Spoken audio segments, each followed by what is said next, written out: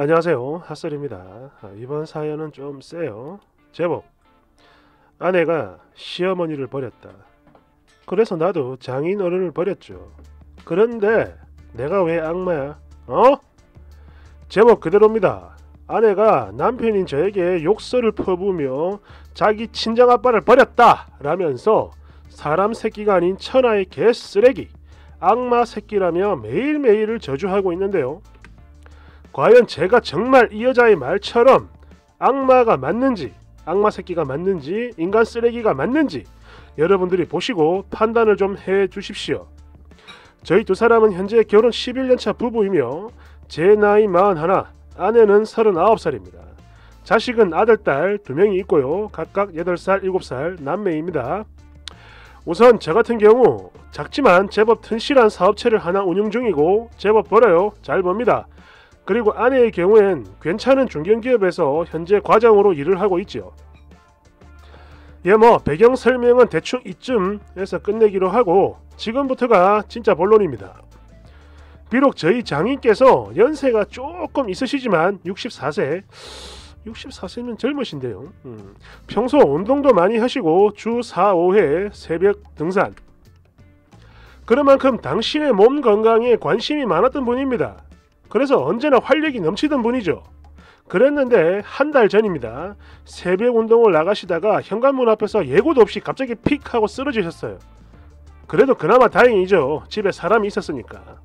장모님은 돌아가셨기 때문에 안 계시고 당시 저희 막내 처남 늦둥이 처남이 방학이라서 집에 있었습니다. 아무튼 장인 어른의 병명은 뇌출혈. 그런데 글쎄요. 저는 잘 모르겠습니다만 이 물론 이 뇌출혈이라고 하는 게 굉장히 위험하죠. 예, 순식간에 사람이 죽을 수도 있으니까. 예, 그 정도는 저도 알고 있습니다.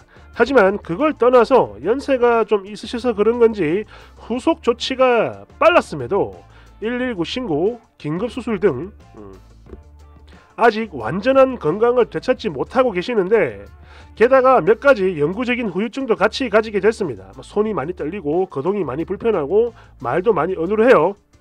그러니까 이게 문제입니다. 지금 당장이야 늦둥이 처남이 같이 있으니까 아버님 수발하는데 별다른 큰 문제가 없지만 아내는 그 처남하고 이렇게 이남매예요.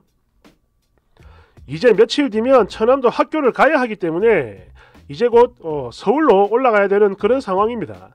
참고로 저희 부부는 서울, 아버님은 경북 예천에 살고 계세요. 그래서 그런지 얼마 전부터 아내가 울며 불며 저한테 하는 말이 이거예요. 아빠를 저렇게 당신 혼자 둘 수는 없어. 엄마도 안 계시는데 자식이 없는 것도 아니고 여보 우리 집으로 모셔오자. 우리 아빠 너무 불쌍해서 두고 볼 수가 없어. 등등등. 이렇게 소리 지르고 난리를 치고 사람 때리고 울고불고 이러는데 뭐 좋게 말을 해도 될 걸 왜 이렇게 난리를 치냐? 그 이유는 간단합니다. 제가 반대를 했거든요. 그냥 단칼에 잘라버렸죠. 안 된다고. 그랬더니 네가 사람 새끼냐부터 시작해서 사위도 아들인데 저렇게 우리 아빠 당신 혼자 계시다가 나중에 우리 아빠 잘못되면 그거 전부 다 네 탓이다 이 악마 새끼야. 절대로 용서하지 않을 거고 가만두지 않을 거다 등등등 매일매일을 이렇게 저주를 퍼부으며 욕설을 하는데 지금 이 여자가 말하는 사위도 자식이다. 글쎄요. 저는 제가 왜 그분의 아들인지 그 이유를 전혀 단 하나도 모르겠는데 이런 생각을 하고 있는 제가 정말로 악마입니까? 예? 아니 한때는 저도 이 여자의 아비 그러니까 저희 장인어른의 자식이었던 적이 있었지요. 예, 한때는 분명히 그랬습니다. 그랬는데 그랬었는데 우리의 그런 천륜을 제가 아닌 아내가 끊어버렸죠. 그런데 그렇게 해놓고서 이제 와서 왜 저에게 저런 저주를 하는지 저는 그 이유를 정말 모르겠습니다. 아무튼 지금 수일째 매일매일을 피터지게 싸우는데 결국 자기도 안 되겠다 싶었는지 어제는 이런 소리를 하더군요. 좋아. 그러면 내가 회사를 회사를 그만둘게. 회사 그만두고 아빠 모실 테니까 당신은 걱정하지 마. 절대 신경 쓰지 않아도 되게끔 내가 그렇게 해줄게. 이런 소리를 하면서 울부짖는데 글쎄요. 아픈 노인이 한 집에서 같이 살고 있는데 과연 신경이 안 쓰이겠습니까? 그래서 그냥 이혼을 하자고 했습니다. 야, 어차피 회사를 그만두기까지 한다면 여기가 아니라 너그 집에 그 집으로 가도 되는 거네. 그런데 굳이 여기서 모시겠다? 나는 싫다. 그리고 전날 네가 나한테 했던 말. 너희 아비가 아프다 보니까 네가 지금 헷가다 돌아가지고 까먹었나 본데 그 말 내가 그대로 해줄 테니까 똑똑히 들어라. 해보지도 않았던 간병 그거 한다고 까치면서 네 주변에 피해주지 마라. 어울리지도 않는 효녀 가면도 벗어버리고 전문 요양소로 보내라. 그게 진짜 효도다. 이렇게 소리쳤더니 또 피도 눈물도 없는 악마 새끼라며 욕을 하는데 제가 정말 악마 맞습니까? 예? 예. 뭐 이 정도 했으면 악마라고 하실 수도 있겠지요. 그렇다면 이번엔 저 말고 또 다른 악마 이야기 좀 들어보시렵니까? 또 다른 악마. 저에겐 올해 7순이 되는 어머니가 한 분 계십니다. 그리고 지금은 치매 환자로 요양원에 계시죠. 그리고 제가 유일한 자식인데 아버지는 제가 12살 때 돌아가셨어요. 그리고 지금으로부터 딱 3년 전이죠. 어머니는 치매 초기 진단을 받게 됐고 평소 뭔가 가물가물하다며 당신 혼자 병원을 다녀오셨어요. 그리고는 저한테 하나뿐인 아들인 저한테 정말 어렵사리 그 사실을 알려오셨습니다. 비록 극초기이고 또 요즘은 약이 워낙에 좋기 때문에 이런 증상을 최대한 늦출 수는 있다곤 하지만 이런 어머니를 저는 당신 혼자 둘 수가 없었어요. 예, 뭐 욕을 하셔도 됩니다. 그런데 그땐 그랬어요. 그런데 암만 그래도 이거를 제 마음대로 결정할 수 있는 건 아니지 않습니까? 그래서 그때부터 몇 날 며칠을 저 혼자 고민하고 고민하고 또 고민하고 그렇게 생각을 했습니다. 벌써 중증이면 모를까 아직은 극초기다. 그러니까 간병인을 두면 충분히 케어가 되겠지. 제 생각은 이렇게 결론이 났고 그날 밤 처음으로 아내에게 조심스레 이 얘기를 꺼냈죠. 역시나 반대를 하더군요. 예상했던 결과였습니다. 예, 그럴 수 있어요. 예.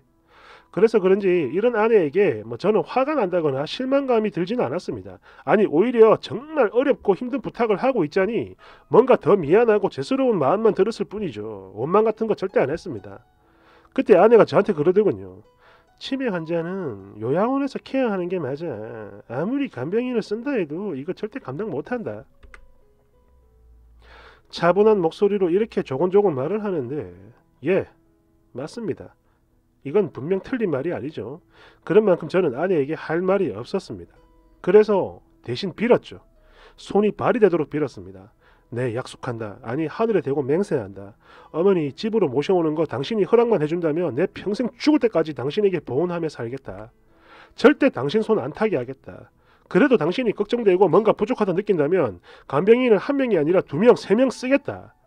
그리고 아직 초기니까 분명 괜찮을 거다. 그리고 훗날에 이렇게 했음에도 감당이 안 되는 그 시기가 오면 내가 먼저 어머니를 요양원으로 모시겠다. 약속한다. 정말 싹싹 빌었습니다. 몇 시간을 울면서 빌었어요.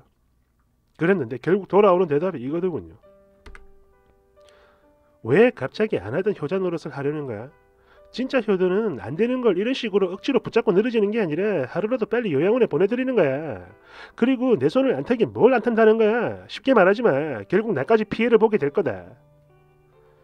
이러면서 결국엔 화를 내며 소리치는데 뭐 싸우진 않았습니다. 그냥 슬펐을 뿐이죠. 그리고 나라는 놈이 효자가 아닌 건 맞는 말이니까 내가 나쁜 거니까 싸울 수가 없었습니다. 그리고 다시 며칠 뒤 저 혼자 어머니를 찾아갔습니다. 그리고 요양원으로 모시려고 하는데 이게 차마 입에서 말이 떨어지질 않는 겁니다. 그런데요, 참 신기하지요. 어머니는 이걸 벌써 다 알고 계셨나 봅니다. 그제 얼굴만 보고도 아신 거예요. 아이고, 안 그래도 니 잘 왔다. 이 애미가 인자는 그 짝으로 들어가야 쓰겠는디? 저번에 병원에서 몇 군데 알아봐 주던데 이거 봐라 봐라 봐라. 여기가 참 좋다 하더라. 이러시면서 아무렇지 않은 듯 해맑게 웃으시는데 제 눈에는 아무것도 보이질 않았습니다. 그날 저는 생애 처음으로 엄마 무릎에 파묻혀 미친 듯이 울었고 저희 어머니는 그런 못난 자식을 되려 다독이며 괜찮다고 웃으시는데 세상에 이런 불효가 또 있겠습니까? 예. 그렇게 얼마 후 저는 피눈물을 흘리면서 엄마를 모시고 갔죠. 아니, 당신 스스로 들어가셨습니다. 저는 그저 그런 어머니의 뒤를 조용히 따랐을 뿐이고. 그리고 이날부터 지금까지 매주 매 주말마다 단 한 번도 빼놓지 않고 어머님을 찾아가고 있습니다. 그리고 가끔이지만 평일에도 퇴근 후에 찾아가지요. 비록 초기라 치매 증세가 심하진 않았지만 날이 가면 갈수록 야유어가는 어머니 모습에 저는 그 누구에게도 말 못할 그런 속병까지 생겼습니다. 아내에게 보여줄 생각이에요. 그러니 여러분들이 좀 도와주십시오.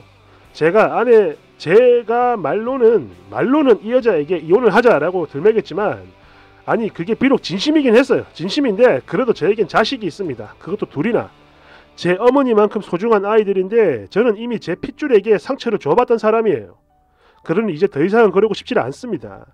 못난 자식인 제가 이제 못난 아비까지 된다면 더 이상 살아갈 이유도 없다 보거든요. 이 아이, 아이들만큼은 꼭 지켜주고 싶습니다. 그러니 저 여인이 잘 알아들을 수 있도록 현실적인 조언 꼭 부탁드려요. 어, 사연이 너무 아프다. 그죠? 결과가 어떻게 됐을까요? 잠시 후 2부에서 어, 보여드릴게요. 감사합니다.